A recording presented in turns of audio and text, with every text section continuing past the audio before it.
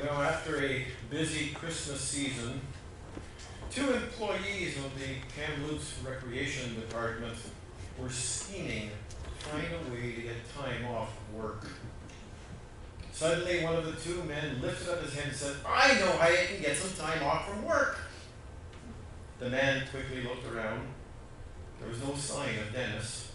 And so he jumped up on his desk, kicked up a couple of the ceiling tiles, hoisted himself up, wrapping his legs around a metal pipe as he hung upside down. Within seconds, Dennis emerged from his office at the far end of the floor. When he saw the worker hanging up from the ceiling, he asked him what on earth he thought he was doing. I'm a light bulb, answered the employee. I think you need time off, barked Dennis. Get out of here, and that's an order, and I don't want to see you back here for at least another two days. Yes, sir, responded the man as he jumped down, logged off his computer, and headed home. The other employee was also leaving when Dennis intervened and asked, And where do you think you're going? Home, he replied. I can't work in the dark.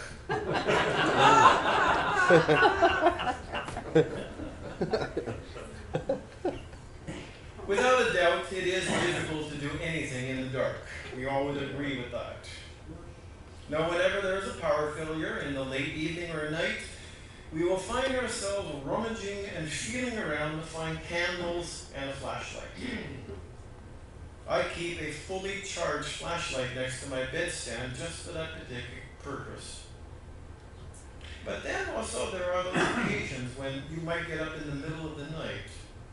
And so without a nightlight, you know, it can be a little bit of a challenging task to find the bathroom in the dark, as well as maybe not tripping over items that have been left on the floor, or maybe a pet that's been stretched out across a carpet. Walking and wandering around in the darkness is hazardous.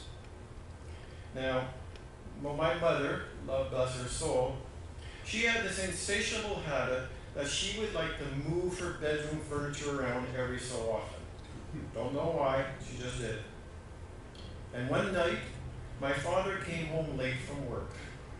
So he quietly made his way into the bedroom and to the bed in the dark, only to find himself flopping down on the floor and waking up everybody else in the house.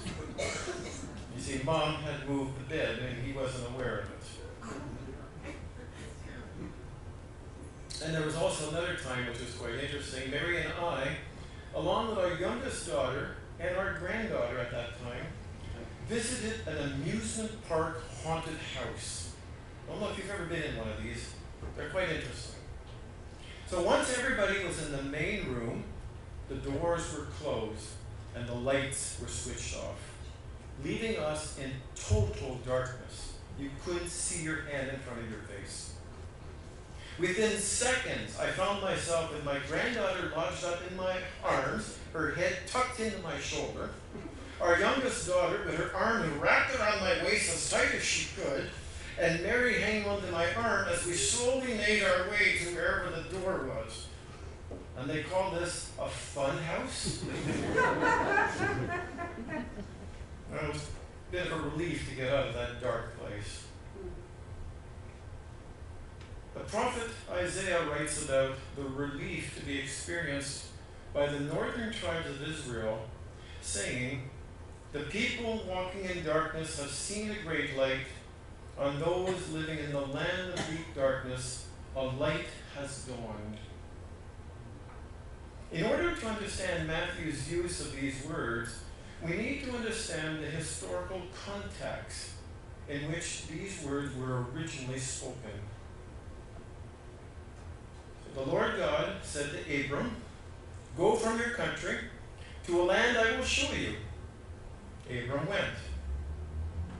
From Abram would come the twelve sons of Israel, whose descendants would eventually settle the promised land of Kamloops, which had been promised to Abram.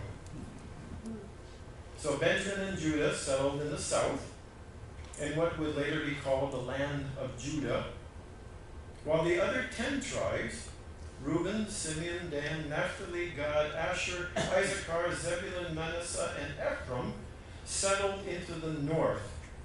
Maybe the North Shore, I don't know. and they became the land of Israel sometime later after King Solomon's death. Now, sad to say, you know, the south remained faithful to King David and to God, while the north turned away from God and worshipped idols until maybe just a few centuries before Jesus' birth, when Samaria returned to God. Although Isaiah prophesied hope for the south, he also spoke of condemnation for the north. Isaiah predicted the northern kingdom would be destroyed by the Assyrians. 700 years before the birth of Jesus, the northern tribes had been completely annihilated. And some of you have probably heard it referred to as the ten lost tribes of Israel. Spiritually speaking, the northern kingdom was filled with darkness, distress, and despair. They will become enraged, and looking upwards, will curse their king and their God. Then they will look downward to the earth and see only distress and darkness and fearful gloom, and they will be thrust into utter darkness. Isaiah does not paint a pretty picture of the depravity of the northern kingdom.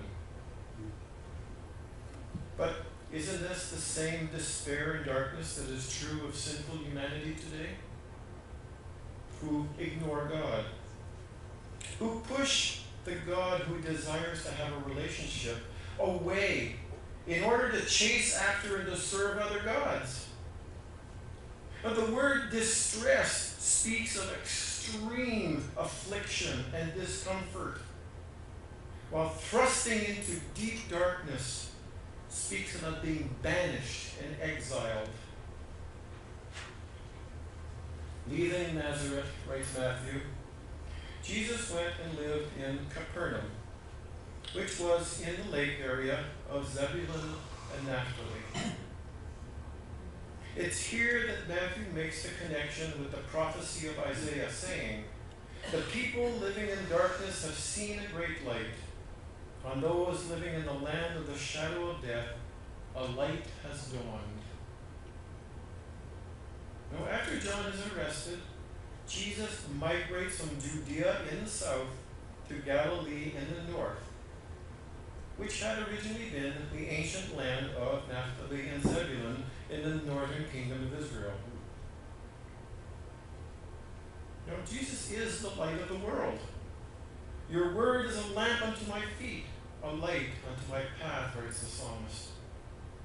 When Jesus spoke again to the people, he said, I am the light of the world. Whoever follows me will never walk in darkness, but will have the light of life. Jesus lights the way for those living in darkness. According to Isaiah, Jesus will move us from gloom and despair into joy and gladness. Jesus will move us from darkness into the light of life. Because in him was life, and that life was the light of all mankind. And so Zebulun and Naphtali were on the northern fringes of the northern kingdom of Israel. Now, Zebulun was located in a major trade route. And because they were so far north, you know, they really succumbed to the influence of the Canaanites that were still living in the land. You know, they never banished everybody out of the promised land. And so they left a little remnant of people, just enough that enough to cause some influence. And in Zebulun's case, they fell into the idolatry and immorality of the Canaanites. Naphtali was actually just a little small little speck on the map. And really, they struggled because they were small and because they were near Syria. And so they were being influenced by the neighbors to follow their ways. And so these tribes, really being so far away from the center, knew only darkness and despair. But you know what? They were repeatedly warned to repent and to return to God. But since they had already rejected God, they were the first to feel the wrath of the Assyrians when they attacked from the north. About 200 years after the death of King Solomon, the Assyrians, in about the early 8th century, conquered Israel and its capital city, Samaria, where they installed their Assyrian gods and their cultic practices. See, the influence of just a tiny bit begins to go through the whole.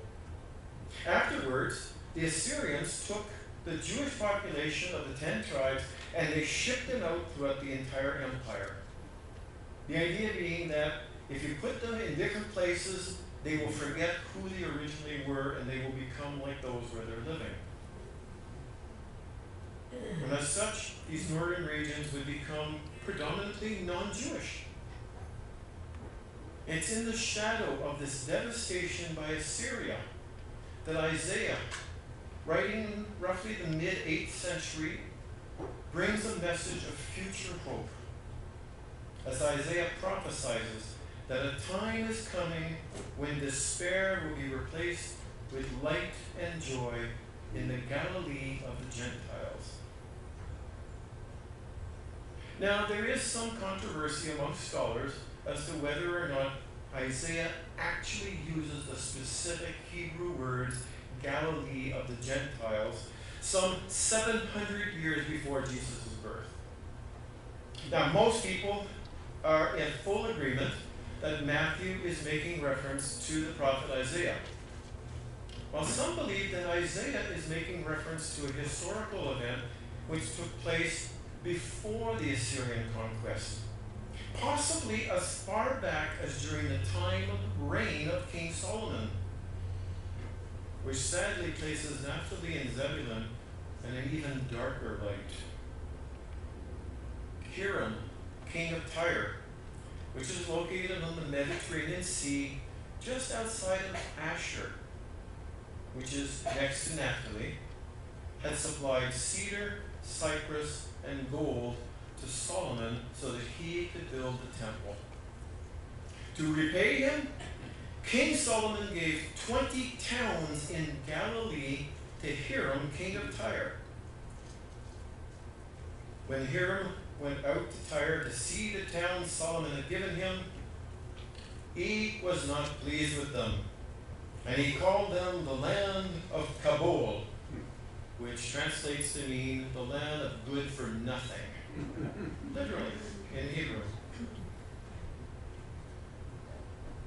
These northern provinces, which bordered the Mediterranean Sea and Lake Gennesaret, no, they would see a great deal of foreign trade and influence.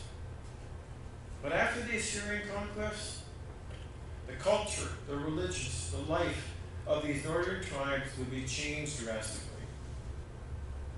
Know, any Orthodox Jew who would have been able to would have escaped to the south and settled in Judea.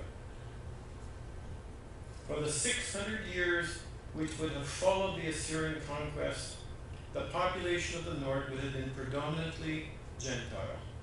Syrians, Canaanites, Samaritans, Phoenician farmers. Until, of course, the Greeks come along and they conquer Assyria and they take over. And then, of course, after that, the Greeks are conquered by the Roman Empire. And you know, when you look at this history, it's not hard to understand why the Jews, who concentrated all their efforts into the south and on the rebuilding of Jerusalem and Judea after the exiles returned from Babylon, despised their northern cousins. The northern kingdom to them was not Jewish. And really, the northern kingdom even allied itself with Syria at one time, which was east of Naphtali, in order to attack the southern kingdom. So we have brothers attacking brothers. Rezin, king of Aram, and Pekah, son of Remaliah, king of Israel, marched up to fight against Jerusalem and besieged Ahaz, but they could not overpower him. Imagine, these northern tribes were going after the southern tribes. So these northern regions where we now find Jesus had truly become the Galilee of the Gentiles, which could also be translated the region of the nations. When Jesus heard that John had been put in prison, he withdrew to Galilee. Leaving Nazareth, he went and lived in Capernaum, which is by the lake in the area of Zebulun and Naphtali. History demonstrates that the northern kingdom of Israel had been living in deep darkness for millennia. But the prophet Isaiah speaks a word of hope to these northern tribes. Eight centuries before the incarnation of Christ into the human world. But why is this word of compassion, of healing, and of hope directed at Israel instead of that Judah? No, notice that God enters our really messed up, dark world through the incarnation in Bethlehem of Judea. The angel said, I bring you good news that will cause great joy for all people. And then afterwards he declares peace on the earth. Now, Jesus lights up the way for those living in darkness, moving them into the light of life. Jesus brings peace. As Jesus came and preached peace to you who are far away and peace to those who are near. But Jesus' birth takes place in the southern kingdom, where an evil and jealous King Herod attempts to have the Christ child killed, forcing Jesus and his family into Egypt until the death of Herod. And then a je- jealous and spiteful religious leadership of Judea would later arrest Jesus secretly and hand him over to Pilate with the accusation that Jesus called himself a king. After hearing that John had been arrested, Jesus leaves the southern districts and seeks the safety of the non Jewish north. The southern kingdom is just simply not safe for Jesus, and he knows that when the time is right, he will have to return to Jerusalem and to the temple of God. But right now is just not the time. So instead, Jesus returns home to Nazareth. Isaiah prophesies how the people who walked in darkness have seen a great light. Now, those walking in darkness don't know about God. They don't know anything about God's salvation. We see them around us all the time, even today. And it's in this land of the Gentiles which Jesus first brings the light of life. The light shines in the darkness, the darkness has not overcome. King Solomon would instruct his children, saying, The path of the righteous is like the morning sun, shining ever brighter till the full light of day. But the way of the wicked is like deep darkness. They do not know what makes them stumble.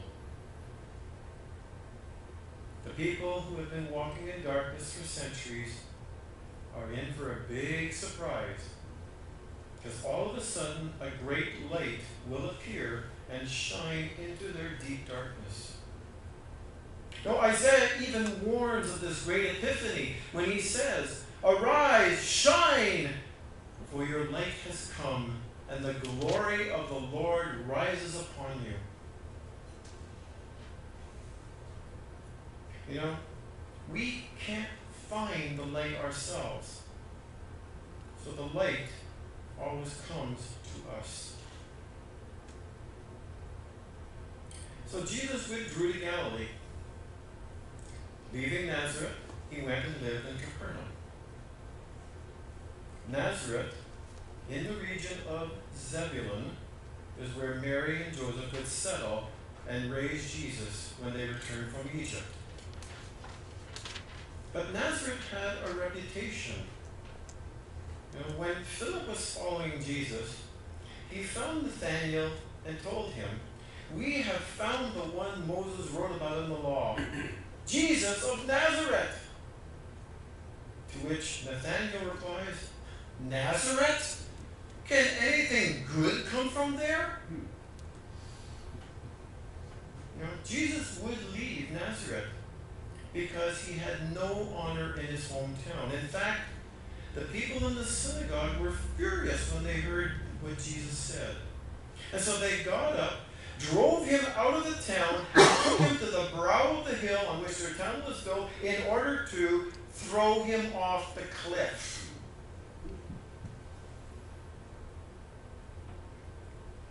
To the fishing village of Capernaum was located in the northern shore of the Sea of Galilee in the land of Naphtali and had a population of about 1,500 people at that time.